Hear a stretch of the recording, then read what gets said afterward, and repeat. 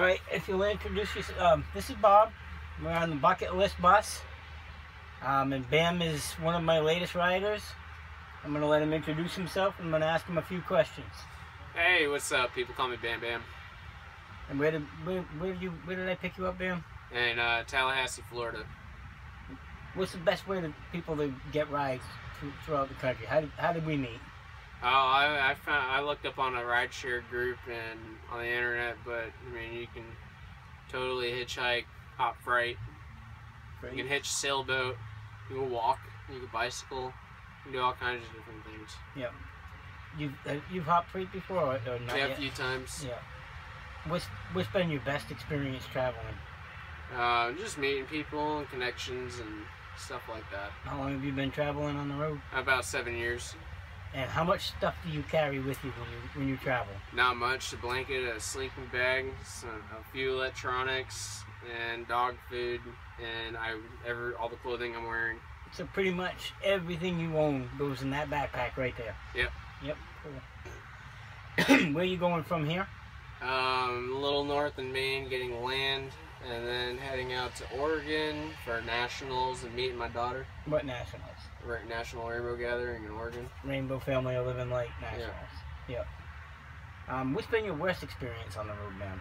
Uh, a few trucker rides, and well, I mean, some few rides and stuff. I mean, sometimes you get a little drunk and carried away and get in a scuffle, but I mean, nothing's too hard to handle on the road. You haven't had any real super bad experiences. Uh, getting arrested for That's a some bad bullshit. experience. Vacation in a fucking Crowbar hotel is, is a bad experience. yeah. But how long have you had ISIS? Come here. Here he goes. How long have you had ISIS and Osiris traveling with you? These guys, she's six, he's three.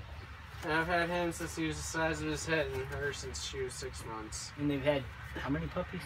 22 puppies. Yeah, beautiful puppies, I'm sure. Yeah. ISIS is about the most loving dog in the world. Whoever ever ever claims pit bulls are bad dogs has never met these two dogs. Isis and Osiris are, are the greatest. Isis sleeps in my sleeping bag at night on the, on the and keeps my feet warm. But after after you take off with go to and whatever, we're gonna we're gonna hook back up. I don't know when. I gotta get past this cancer.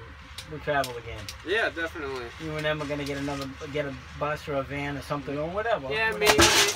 maybe, maybe not.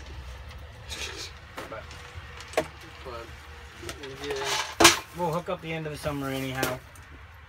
And you take care and travel safe and you know Yeah. and stay green. totally. Love you, bro. Yeah, I love you too, man. I'll see you again. Yep. Definitely.